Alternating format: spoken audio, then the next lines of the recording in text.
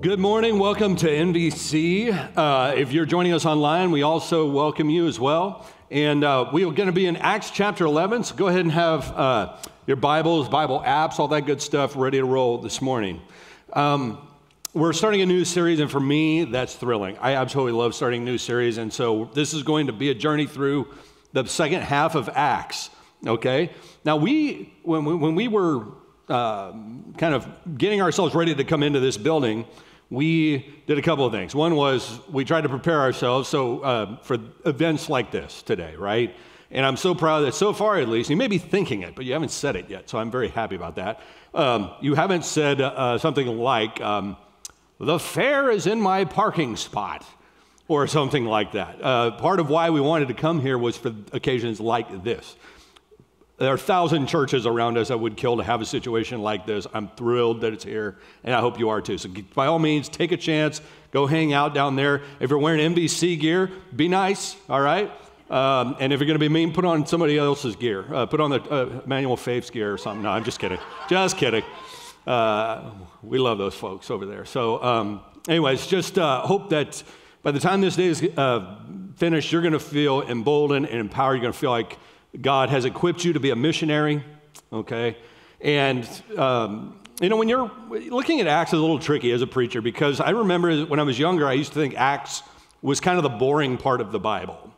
Um, I would read through the Gospels, were fine, but then I would get to Acts, and it felt like all of a sudden I was reading about a bunch of nameless, faceless people and what seemed like history to me. And so it came across, you know, like when you're a kid, and you find out, hey, it's going to be a field trip day at school, so you're really excited. And then they tell you that you're going to a museum.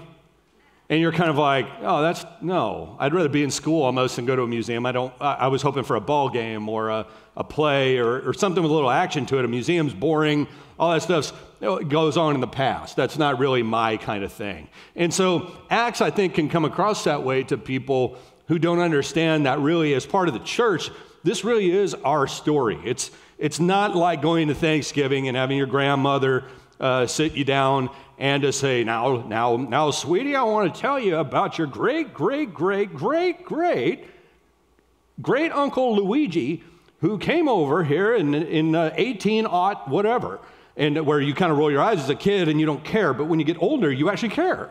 You realize that what, what happens in history, sometimes we're doomed to repeat it if we're not careful. If it's bad history and if it's God's redemptive history, then we can draw great encouragement from that. And so I hope that that's the spirit in which we're going to do this. We're going to, we're going to get on a, a ship and sail with Paul to some of these different missionary journeys. And we're going to start kind of at the church where it all began after Jerusalem. So I'm going to take you back where we were when we. Um, when we were at 355 Grand just down the street, and then we heard about some little virus or something that was coming around. And so we, we hit pause on that series and we never pressed play again. So we're going to press play right now. We ended there with the stoning of Stephen. Stephen was a deacon in the church, a real firebrand. This guy would say anything to anybody if he thought it was true. He was called full of the Holy Spirit.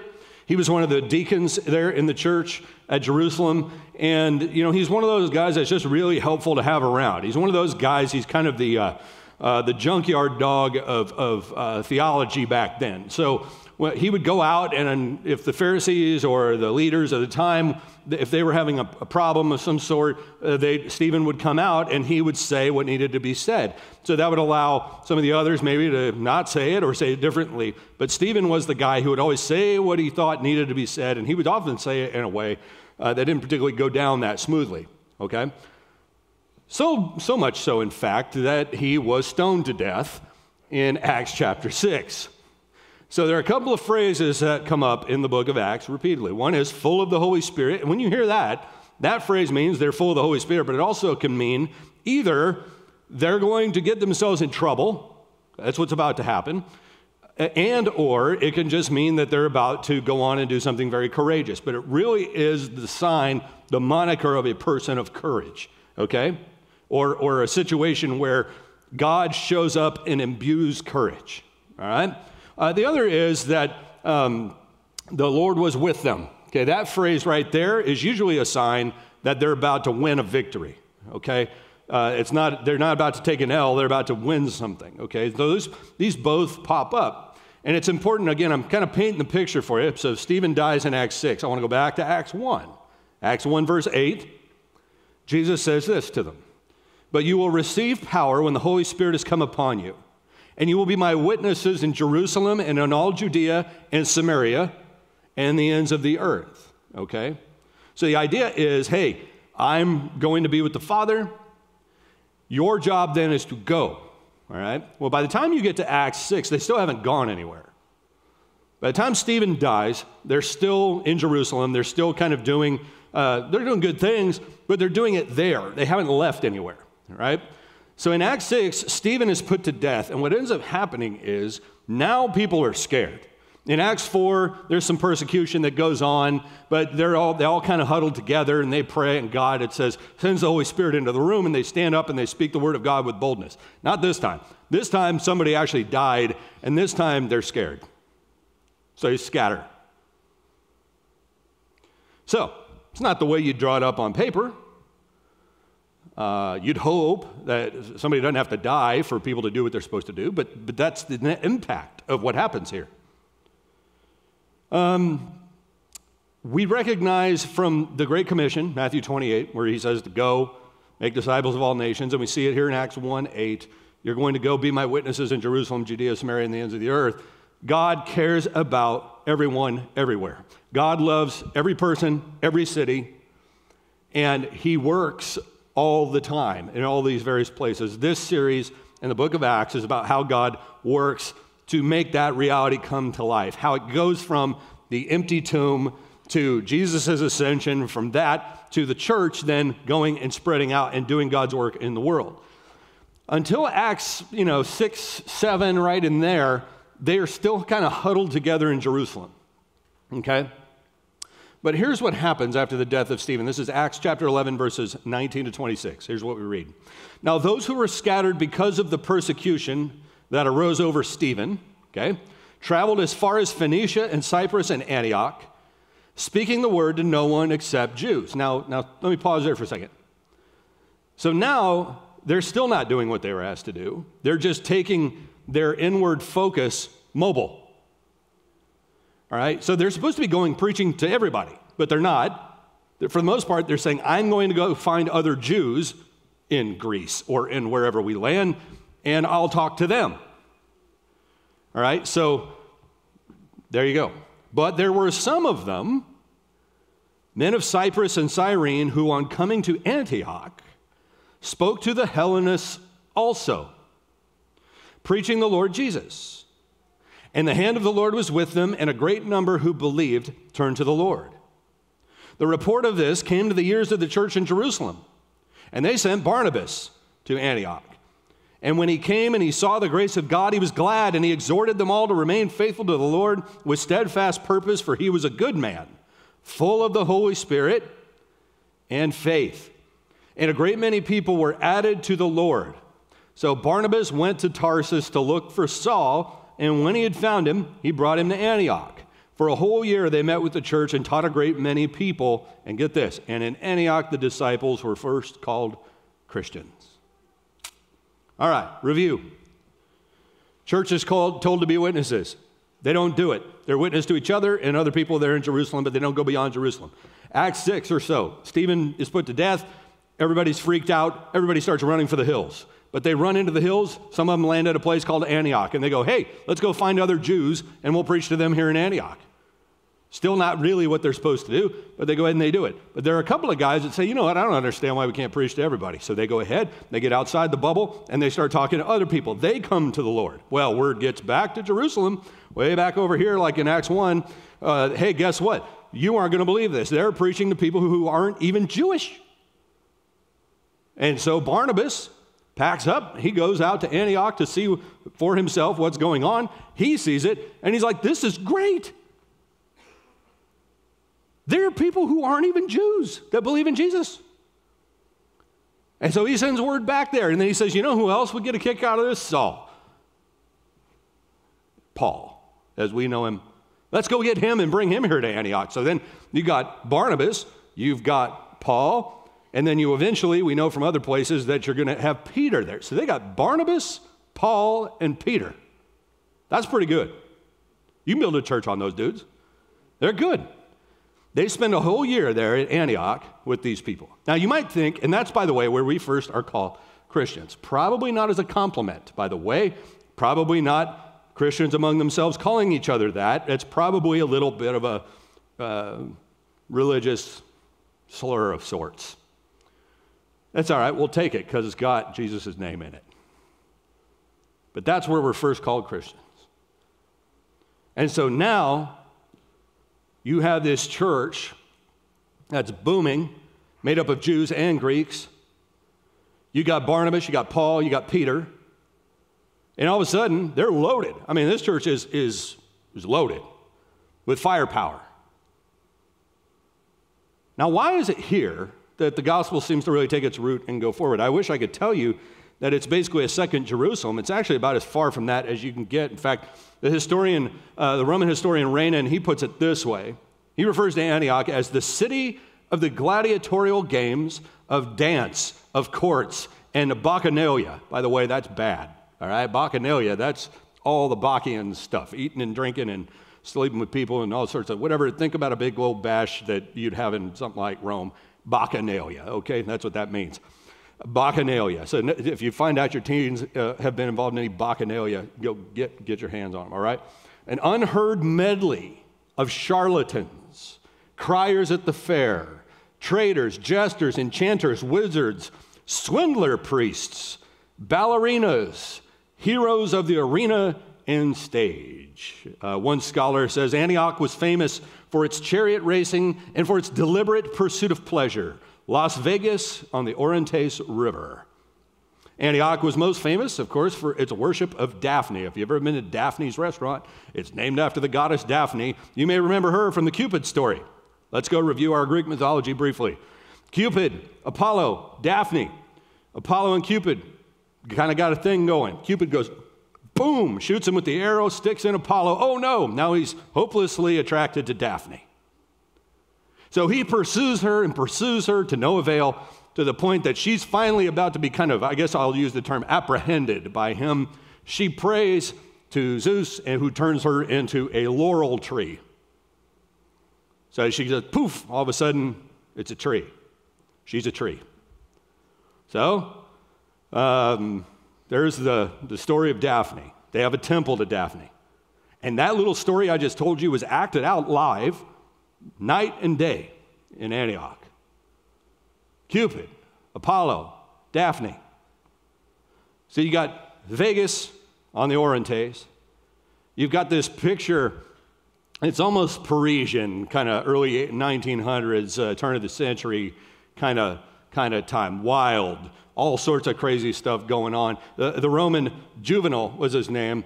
He actually was going after Rome. He was, he was targeting Rome, and as an insult, he says, We got this way when the Orontes River, that's a reference to Antioch, when the Orontes flowed into our city, flooding the city with wickedness. He's saying, You drank their water. That's the problem. So now we're as wicked as they are. So what he's saying, now isn't it odd that you go from Jerusalem, right? That makes sense. If you're going to build a kingdom, as, as, as if you're going to build something like that, I've never built one, but if I was, I'd probably go to Jerusalem. I wouldn't go to Antioch. But then circumstances, they were charged to go, they didn't go. So then God goaded them, He dispersed them. All right, if you're not going to go, here you go. And it's there, they land at Antioch, and just there, it goes kaboom. I mean, they, they end up with the greatest preachers. In the first century, it's Barnabas and Paul and Peter. Second century, you have Ignatius and Theophilus. In the third and the fourth, you get Lucian, Theodore, Chrysostom, Theodoret. Hmm. All right, let's. What are, we, supposed to get out of this? Why is that in here? Is it really just a, hey, sit down, let me tell you about your Uncle Luigi kind of thing? Is that where, why it's here? I think there's more than that here. So let me give you a few things for us to think about. And by the way, everything we're going to talk about with regards to the church is true of a human being as well.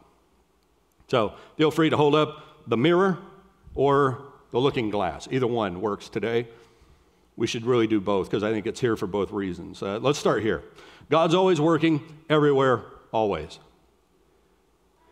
One of the things about this text that strikes you is that the little church that couldn't can because it says God's with them, right? So when God is with people, this, by the way, goes all the way back to the very beginnings of Scripture. Moses goes to Pharaoh. Well, who should I say sent me? Just tell him I sent you. I am sent you. Oh, okay, I'll tell him that. And Pharaoh's not impressed, but he is by the end. The presence of God, God being with them or not with them.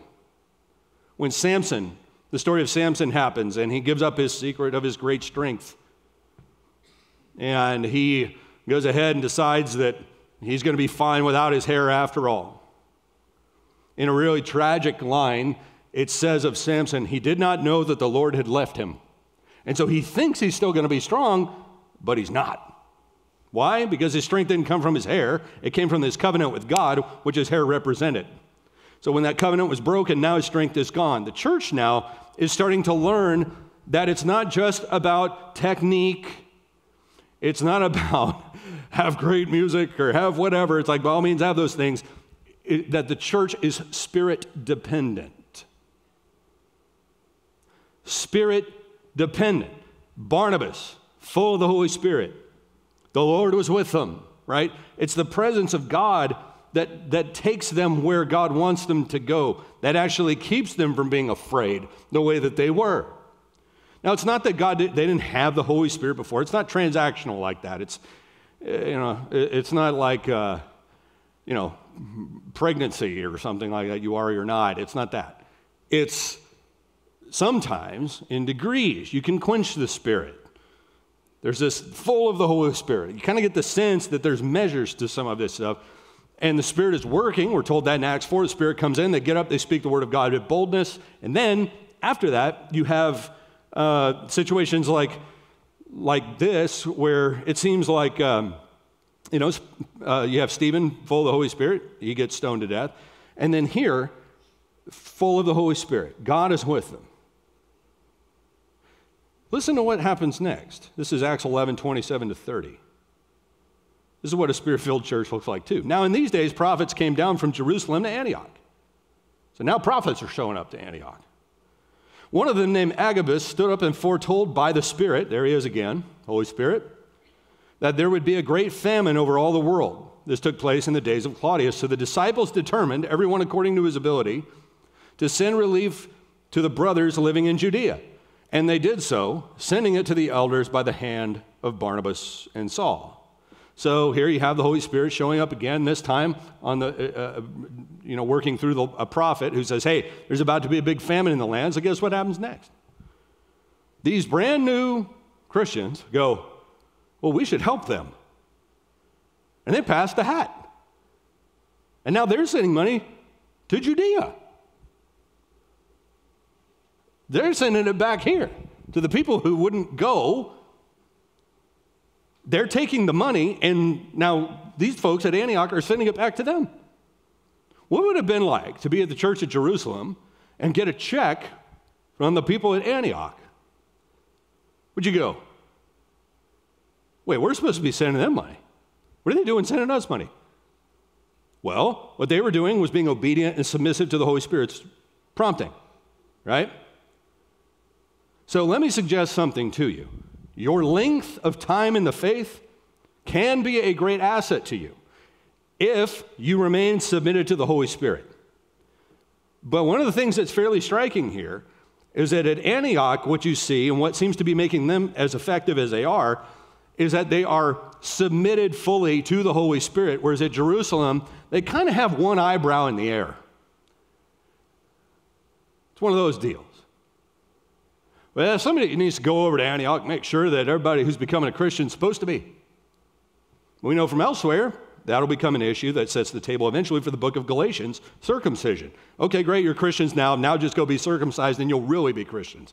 Paul says, nope. It's the gospel, period.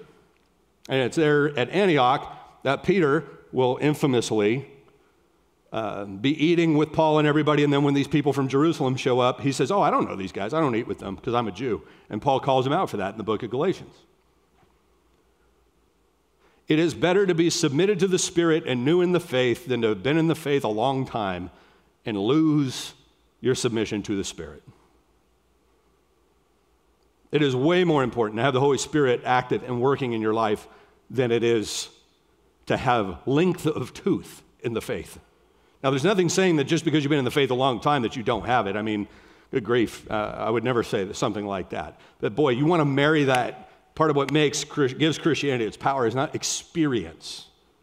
It's not like being a welder or, or something. It's driven by and empowered by the Holy Spirit. Full stop. That is what it means to be a Christian. That is what Jesus is talking about when he says, It's good that I should go, for until I go, you can't receive the Holy Spirit. So he actually is saying to them, having the Holy Spirit within you is greater than having me walking among you. Okay, that's massive. So here in Acts, what's going on is the Spirit is breaking out in every way, shape, and form at Antioch, and the people in Jerusalem don't know what to do about it. But it's a good reminder to us that God works in all sorts of places. One of the best things you can do for your faith is buy a plane ticket and get on a plane and go somewhere else and watch the church in action somewhere else. It's incredible what you see. That's one of the things we're going to do throughout this series. We're going to tell stories from overseas in other countries, marry it to our own story here at New Vintage, and see examples of these things as we go. But the Spirit, here in Acts 11, gives this prophet knowledge of the famine and gives the Spirit the Spirit gives prompting to the believers to give their support to their brothers and sisters in Judea.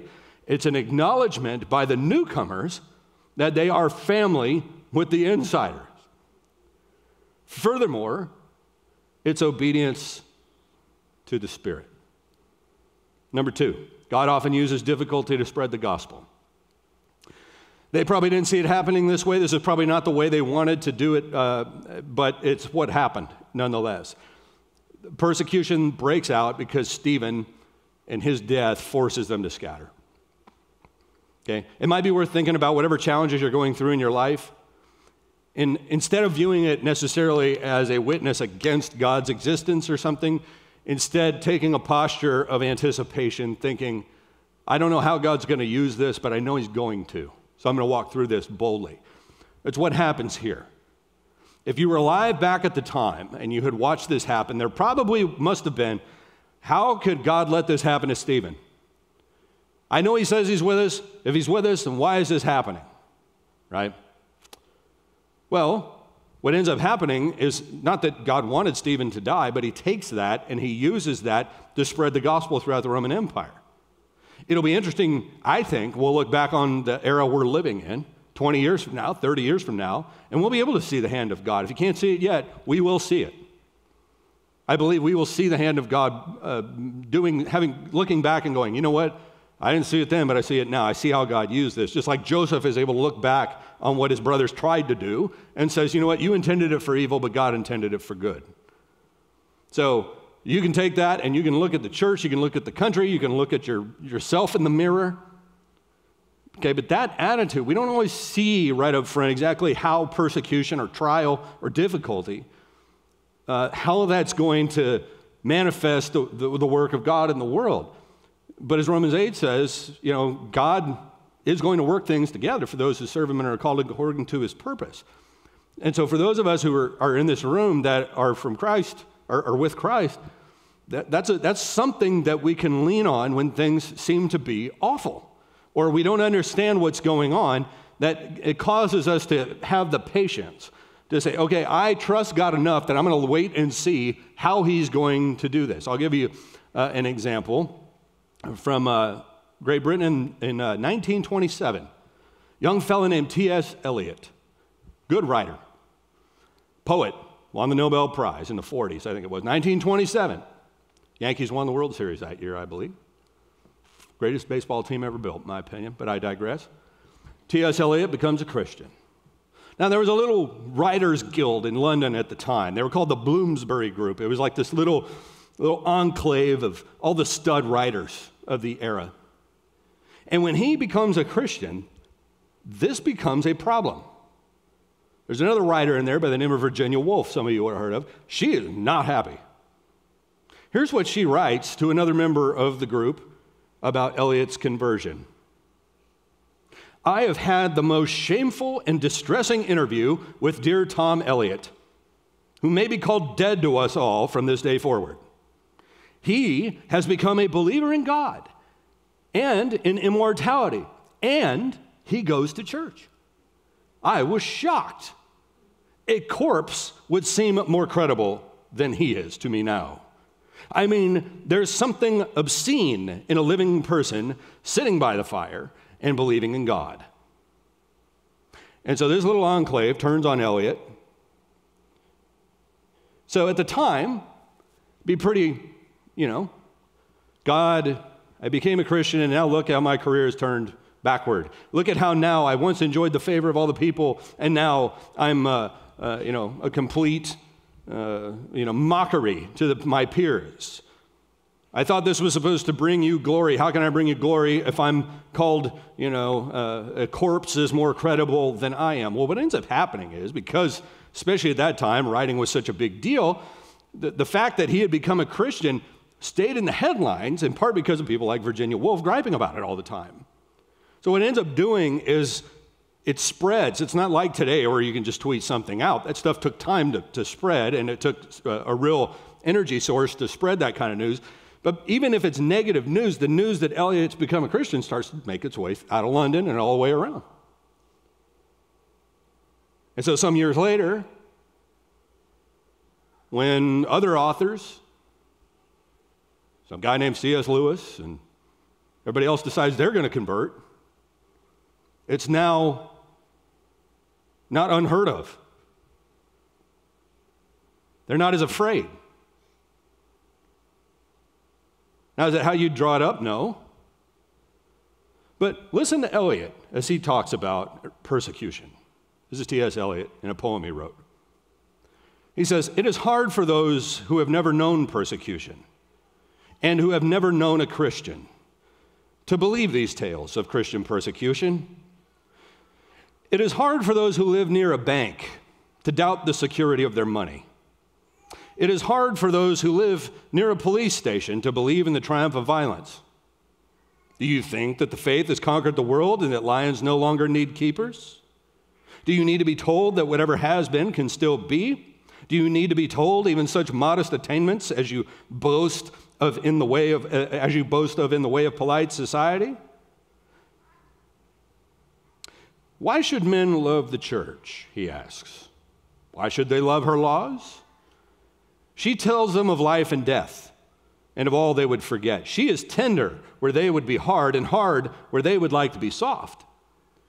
She, talking about the church, tells them of evil and sin and other unpleasant facts they constantly try to escape from the darkness outside and within by dreaming of systems so perfect that no one will even need to be good. But the man that is will shadow the man that pretends to be. And the Son of Man is crucified always. And there shall be martyrs and saints. And if blood of the martyrs is to flow on the steps, we must first build the steps. If the temple is to be cast down, we must first build the temple. Says, yeah, I understand as he's talking about persecution that it's hard if you live next to a police station to understand that uh, violence is a problem. Yeah, it's hard to think that your money could go like that if you live right next door to a bank in a very wealthy society and you've never seen anything like that. And that's his way of saying people don't understand persecution because they don't know any Christians, really. And he says, but that is the crux of Christianity. Persecution is the pulse. That, that drives so much of, of, of what makes Christianity tick is the willingness to testify to who Jesus is, even if it means very uh, staunch and rough criticism. Ask Stephen. Ask Stephen. Ask Paul, who lost his head. Ask, well, some of you in this room even know what it's like because when you became a Christian, your family treated you differently. They used to take you seriously, now they don't. Your professors took you seriously, now they don't. Your friends, they thought you were logical, now they don't. Okay, lean on the words of the church and history and people who've gone before us that have suffered far greater than we have for the faith. Because God used their difficulties back then to get them to do what He'd actually called them to do. And I believe, by faith, that we will look back on the times in which we live now, and we will look back and we will see how God used this era to get the church to do something awesome. Three, the church is supposed to go as we grow. Here's Acts 13, 1 to 3, a couple chapters later, still at Antioch. Now, there were in the church at Antioch, this is Acts 13, 1 to 3, prophets and teachers Barnabas, Simeon, who was called Niger, Lucius of Cyrene, Manaen, a, long, a lifelong friend of Herod the Tetrarch, and Saul. While they were worshiping the Lord and fasting, the Holy Spirit, there he is again, the Holy Spirit said, Set apart for me Barnabas and Saul for the work to which I have called them.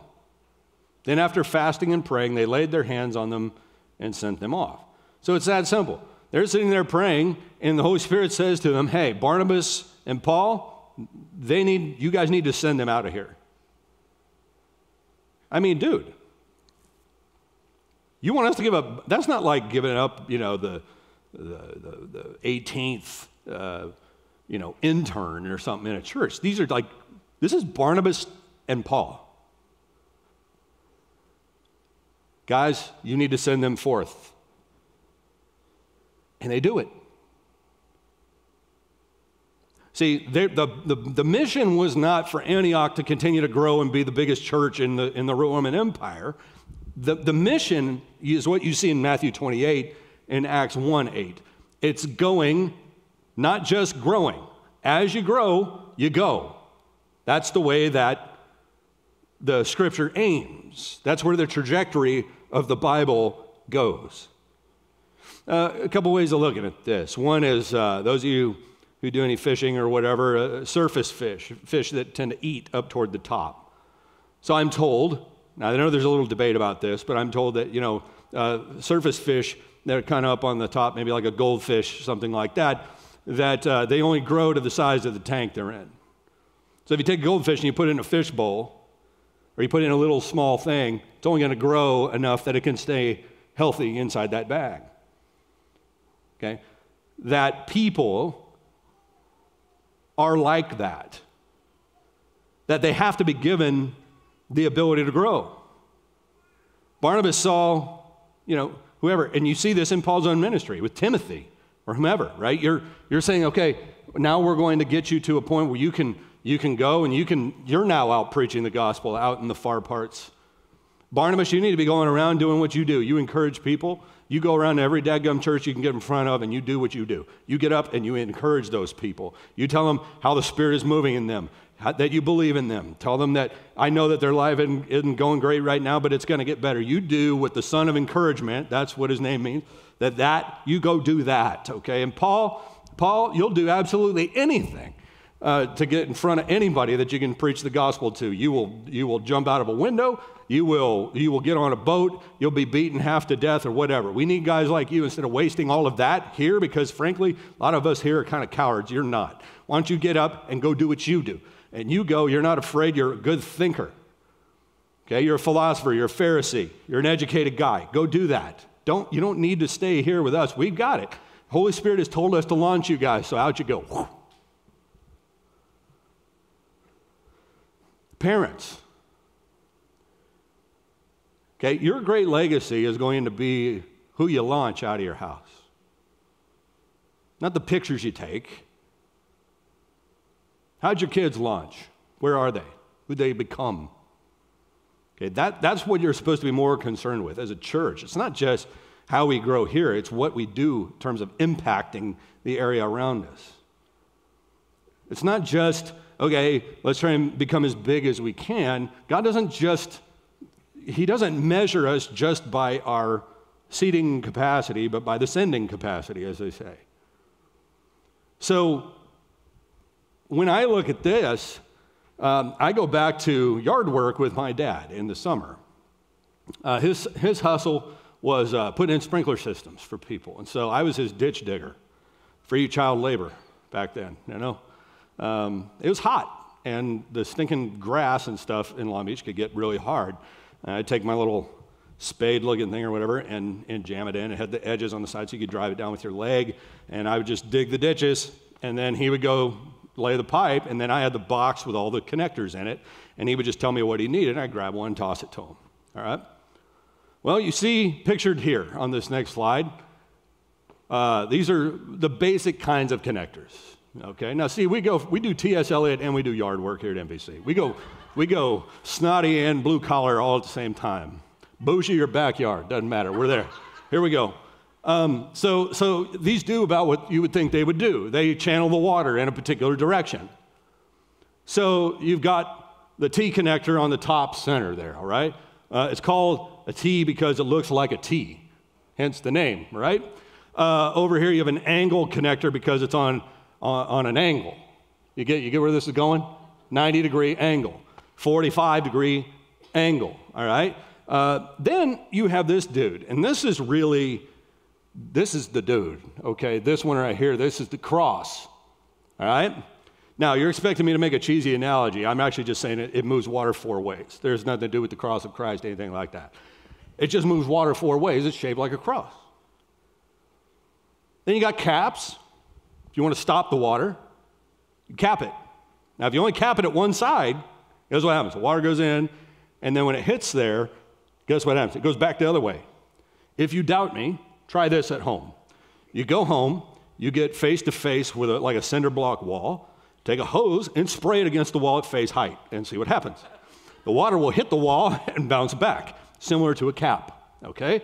Now, the other thing you can do is cap it at both ends, in which case there is no water coming in or out. All right? I could take the time to elaborate on all of those pieces and how churches are like each of those pieces. Okay, you've got some that are, you know, they're just capped at both ends. There's zero going into them. Nobody's going out except through the grave. okay? They, they just, they're there, they're stagnant. They, they're not allowing any, any freshness in, and God isn't using them much. Cap, cap, okay? There's some that are capped so negatively at one side that God's trying to get through, but they can't because they, they aren't allowing, they're not submitted enough to the Holy Spirit that goes boom and then goes back the other way. All right, so they, people take off as fast as they got there, or whatever. Then you've got the, the more angular kinds of things where they, you know, their church is growing or whatever, but they, they're not ready for the cross shaped one yet that sends water everywhere. They need to kind of, you know, so that elbow there that kind of takes it and sends it one more direction. All right, and then you kind of get to the T shape where you can kind of, you know, up and maybe out a couple of directions. And then the cross shaped one is kind of when you have a church that's growing and vibrant and it's out and it's, it's making impacts and how they serve the poor in the city they're in and the area they're in and the world and worldwide. And they're helping helping all that stuff right? That those are ways in which god starts working in here. Now here's where, where i'm going with this okay? The more like antioch in this respect that we're willing to be the more likely it is that god will send us the pauls and the barnabases but if we cap it at one end and we say, great, anything good that comes in here it stays here because we're going to use it for ourselves. I mean, think about what an odd blasphemy it would be for Antioch to be a church that did not do everything that it could to, to have the gospel preached beyond it. It was the one that no, God couldn't get anybody to show up and preach there. So now somebody does, they come to Christ, and now they won't do it.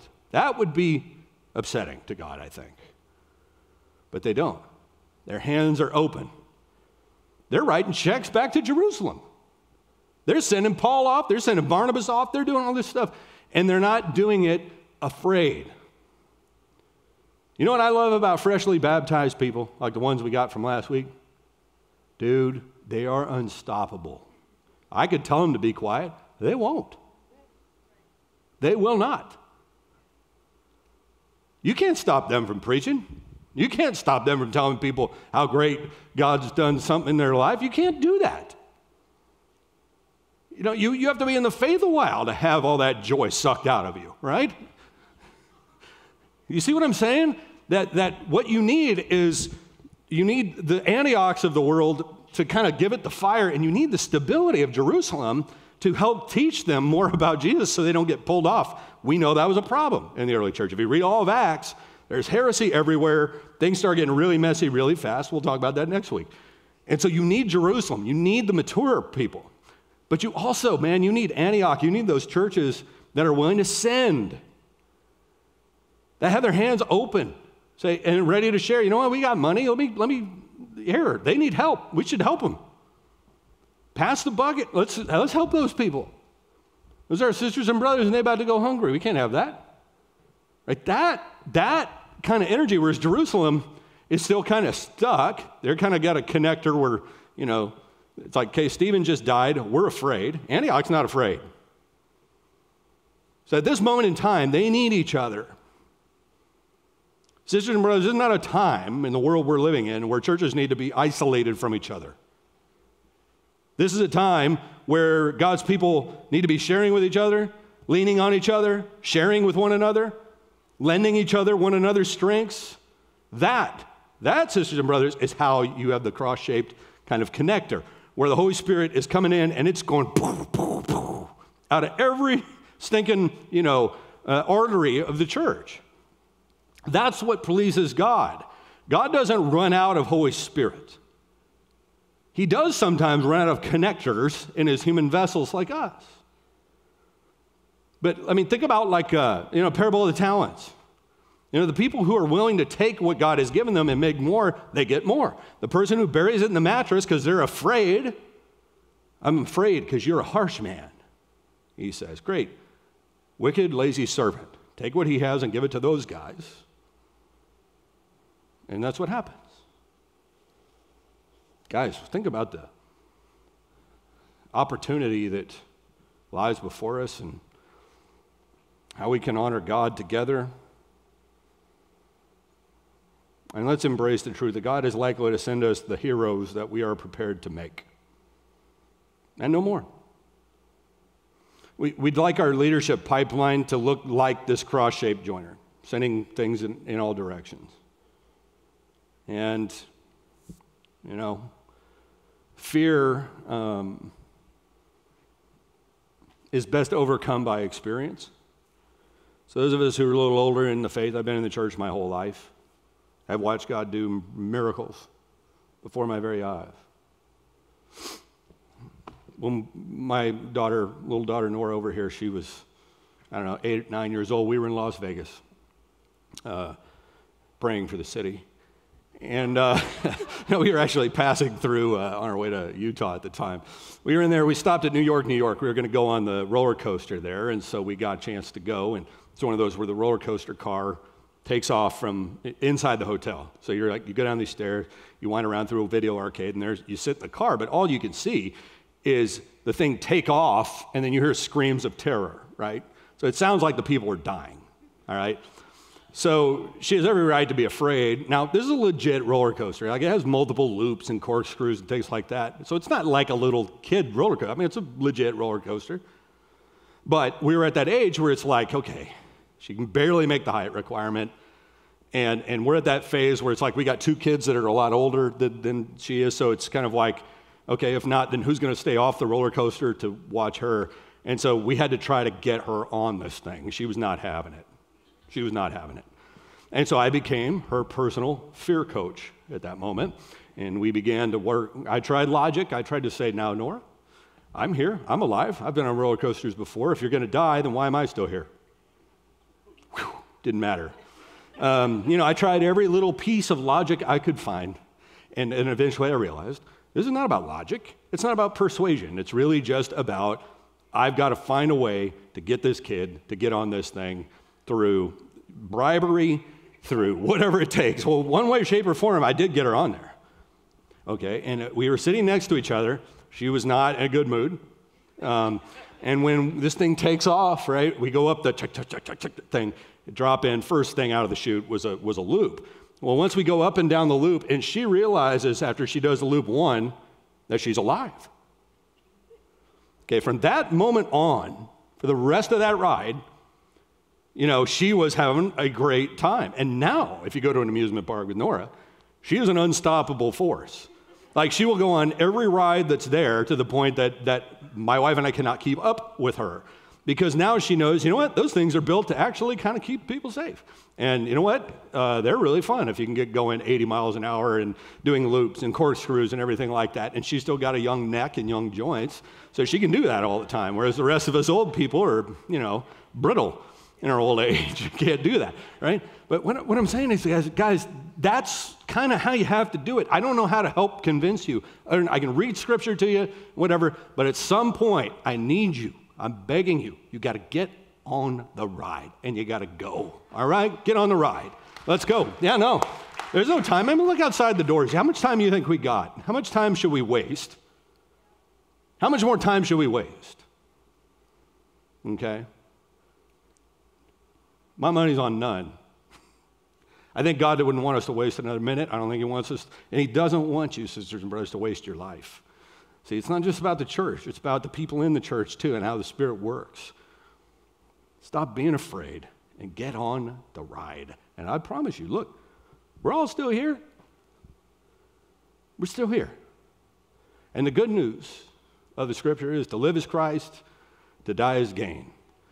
That is the blessing of the gospel. We should live our lives as people and as the church on mission every day. We are both senders and we are the sent. So, I got to stop get on the ride. All right? God is inviting you, and there's plenty of room on this ride, and off we go. And it leads it leads to a great place. And the stories that you hear in the Bible, you have the chance to be a part of that. You know, they're not like nursery rhymes. It's not the three little pigs here or something that might happen or, oh, that's a great story. Stuff happened. That famine in, during the time of Claudius took place. Uh, that was mentioned there in Acts. And that's our story. It's not your great, great, great, great, great Uncle Luigi. These are our people, these are our family. And so let's be inspired by their example. We're going to take the Lord's Supper now uh, with bread and cup. We will um, celebrate and we'll say yes to Jesus and to the call.